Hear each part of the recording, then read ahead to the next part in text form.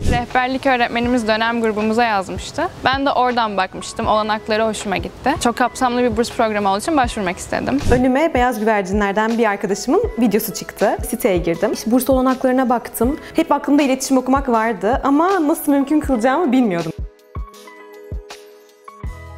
Başvuru sürecimde belgeleri yükleme ve yine kompozisyon yazma kısmında pek bir sıkıntı çıkmadı. Rahat bir şekilde ilerledim. Başvuru süreci çok kolaydı açıkçası. Böyle çok zorlayıcı şeyler istenmedi. Sadece birkaç belge yüklenmesi gerekiyor. Referans mektubu, kompozisyon gibi şeyler var. Onlar zaten çok kısa bir sürede hallediliyor. Kaygılandım ama çok da heyecanlandım. İlginç bir duyguydu çünkü İstanbul'a geleceksin. Bir anda çok farklı bir hayat, senin hayallerine açılan bir kapı. Gerçekten hayallerime ulaşabileceğim bir yolun gözükmesi benim için çok önemliydi ve beni çok mutlu etmişti, heyecanlandırmıştı.